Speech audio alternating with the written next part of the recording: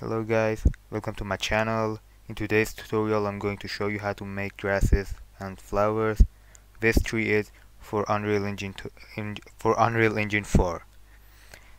This tutorial is very easy, it's very fast, you can easily learn it and use it, it's very helpful. So when you open up Treeit, this is the first thing that you see. So what you have what you're gonna do is first off is to check off this box for trunk. But uh, not right away. I'll explain why. And uh, one of the things that I always do is to reduce the leaf poly. Um, you can you can uh, do this like it's better to do this. You can also leave it at 100 but I always reduce it like to like between 40 to 50 somewhere like here. Then we go to um, trunk section. For the length min. We have to go all the way down all the way down to the zero. And uh, for the radius. It's better to uh, increase the radius. If you want like uh, your flower be a bit uh, separate from each other and not be very close together you can always type your amount that you want. Let's say 350 it depends on your total depends on you how you want to do it. You can also work with the radius curve and join offset.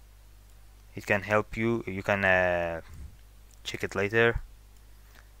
So let's go and uh, check off this trunk section.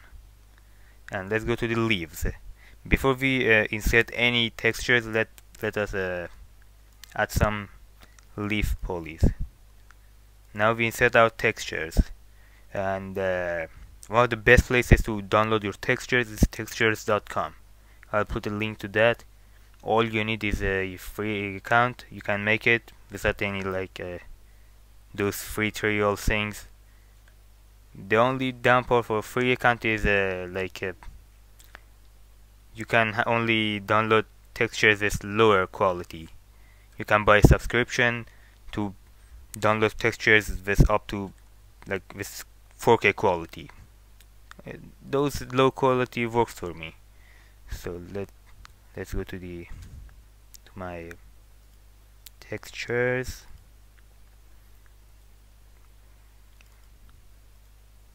Let me see, let me see. Yep, flower, flower here we are. Base color. All you need base color normal and specular. That we are going to join them right here. Right now I'm using flower you can use grass. You can use anything that you want. Let's insert the uh, yeah normal. Normal yep and specular. I guess you can uh, skip the specular map but I rather to use it. Here we are. Maybe it looks a bit weird right now but uh, don't worry. You can fix it inside Unreal Engine. So first of all you need to know how much you want. Let you can go crazy with it with like huge amounts or small amounts. I usually go with the small amounts because uh, I can control the amount inside the Unreal Engine with the foliage system, which is very helpful. Next thing you uh, you uh, you want to do is uh, choose the cross section. I always go with say with the halved or cross. Okay, now it's a bit uh, you can see like um, very in weird angle. Okay. We have to fix it. Oh uh, before we go there we can you can use the size you can uh, decide how big you want your flower and your grasses be. I guess that works for me yeah. Let's go for the fix the angle. Yeah here. In the bend section like bend X and bend Z you can decide the you can fix the angle. Right now you can see it's two they're very close to each other but don't worry we can fix it. Next uh, next we have we can go over here. As you can see it can uh, change the location for your grasses and flowers by deciding where you want it to be. As you can see our grass is a bit uh, too much uh, thick we have to make him a bit skinny. We can use this width min and max. You can control it from here. Real easy. So next um yeah this, these are the basic uh, basic settings. You can work with the other settings.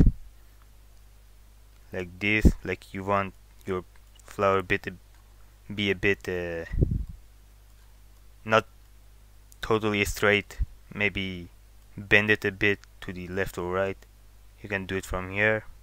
Bend it minimum and maximum. The position maybe you want them be a bit further. Maybe you want them to be close to each other. Depends on you. You can decide how it's going to be you also can work with here well, well uh, normally you should be okay with default one but yeah. One of these settings also helps you with yeah how far they're going to be. Like you want them be like too much far like as far as they can what happened? Yeah okay I don't know what I just clicked on but I'm so sorry okay. Like this. 100 is okay for me. So now let's say you want to export into Unreal Engine. All you have to do always always save your settings. Like maybe you want to change them later. Let's save it like let's say test folder. Oh I already have it. New folder. Doesn't matter. Test 2 yep and I always export them as the FBX but let's say you want to change it a bit like the UV map you want to change it inside blender in that case you have to go with OBJ or go with FBX and no, no, uh, you can't go with FBX for Blender because uh, you'll get an error. I don't know why, but you get. If you want to change it a bit inside the Blender, you have to go with OBJ. But if you want to straight export into Unreal Engine, you have to go with FBX. Let's export it. Yeah, here, test 2. Yeah, that's it. Save it. We're done from for uh, for here. Let's go inside the Unreal Engine. Oh, textures from last tutorial. Let's find other textures from where are they?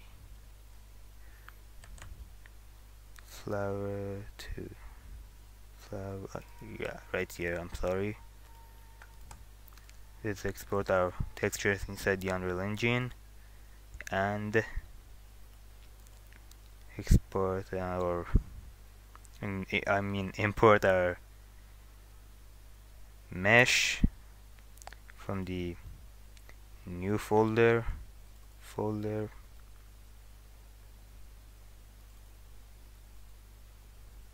I'm sorry.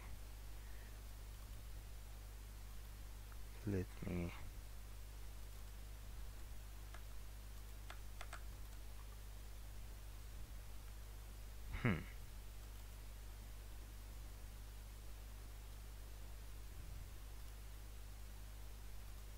let me export it one time.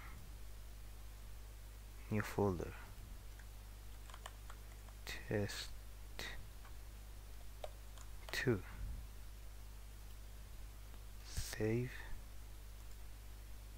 Cancel it import it again.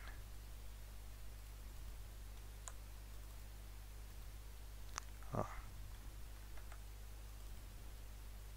Yeah here. I don't know why I didn't import it last time but yeah. So now we have to set up the material. Uh, uh, first of all left click on the texture the, the main color then right click on it. Click on create material. Go inside the material and export the maps. The um, well we don't need height just normal and specular we bring them inside the Unreal Engine. We connect them into our material thing I don't know what it's called. We connect our things our maps. So now click on this big thing I don't know what to call it to be honest. So now we have to change some of these. First of all you have to click on two-sided right here then go to shading mode and click on two-sided foliage. Then go to blend mode and click on masked. So now click right here this white section in the lower part of your base color connected to opacity mask. Then you have to do um, I'm going to show you a trick that can help you a lot. You can change the color of your material blend them. It's very good. Click on M and press the left button. It will bring up the multiply you can also search for it. Right click here. Multiply. Here you can see it. Same thing. Then click on number 3 and left click. It will bring you the color channel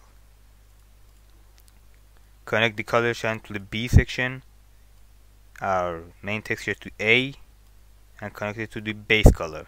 Maybe you you want just use the main color you don't need to you don't want to change the color so in that case leave it.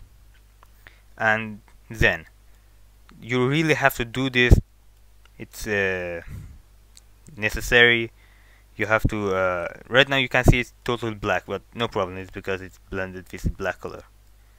Uh, next thing th that you want to do is to again do the same thing multiply and color. Uh, but this time add this one to the A section and add it to the oh sorry sorry. Yeah yeah the first one to here and uh, connect it to the subsurface color. If you don't connect it here you'll get some weird black shades that you really don't want them. So now you want to do uh, what you want to do is to right click on this one and convert it to parameter. Name it let's say color. Same thing for this one. Let's name it subsurface now click on apply.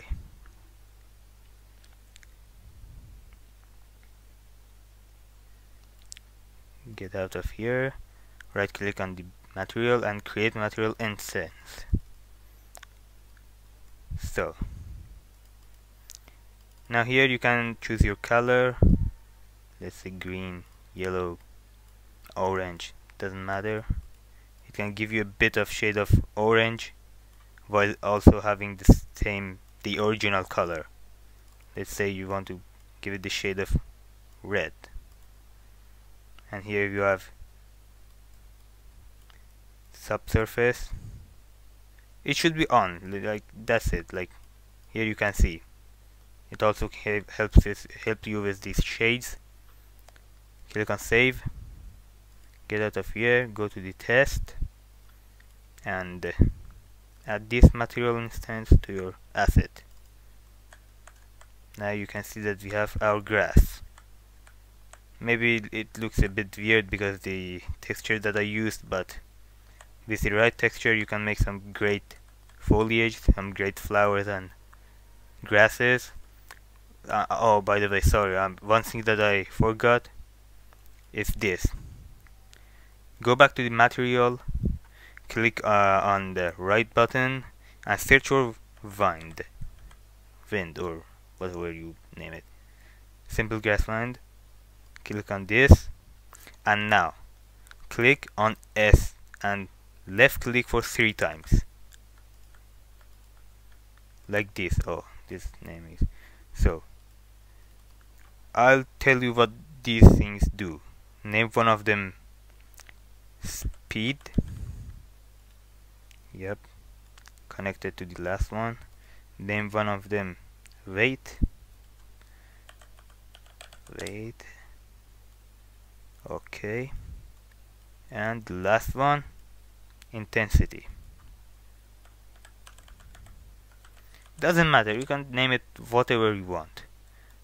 Okay so now connect the result to the world position offset. Click on apply wait till it apply it get out of here go to the material instance and now check these parameters on. Select the amount you want. Let's say like all of them about 0.2 you can you can choose the amount any amount that you want any amount that you're happy with.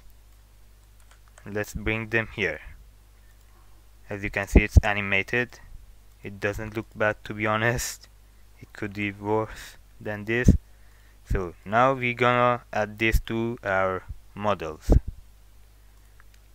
You can select the amount that you want to paint. The size like let's say from here to here 0.8 to, to 1.6 maybe you want to work with the cull distance. The cull distance that what thing it do is that uh, it helps you like uh, let's say you wanna paint the entire entire map with grass. And uh, to, it help, helps you with the performance. Like uh, uh, you can't it will uh, it will let me think about it. It will fade away the further grasses that you can see them. And it helps helps you with the performance. Right now I'm not going to do anything with that. Let's paint it right here. Oh sorry. Have to check this off. What happened? Oh my god. Sorry. So check this off. Yep. Everything's cool. Now let's apply them here. As you can see some of them are very small. I guess we did a yeah. Maybe you want to increase the size from a scale X. You get something like that. Th to be honest this is a very bad texture that I use and I guess I did something wrong here with this offset Z and things like this. No no the problem is with the texture yeah. It's a bad texture that I use I'm so sorry. I should have now it looks a bit weird but that's cool. Not it's not that bad. And paint it as you can see um it like uh, it has the uh, wind animation but it's not that much. It's very slow. You can you can make it faster just by simply going to the material instance and working with your parameters. As you can see now they move faster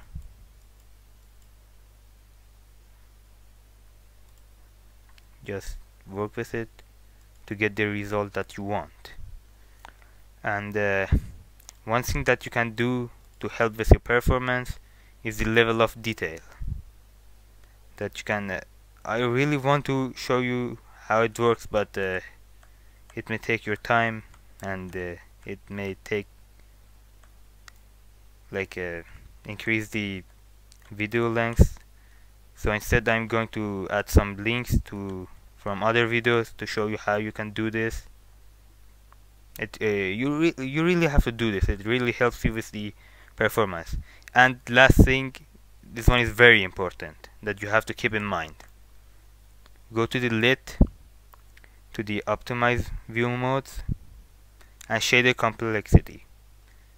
So here that you can see it's uh, first of all look at this part here good good ones are green. Bad are red. Extremely bad is white. So as you can see it's very bad. It's uh, it's all red. It's all white. It's gonna cost you the performance. So you should be careful to not use them too much. Like a, a, a an advice that from me that you can hear is uh, use them but use this method just in case that you want to make some fast grasses fast foliage. You can you can also do uh, do better one with the blender that you can see I did here. Looks very cool very nice.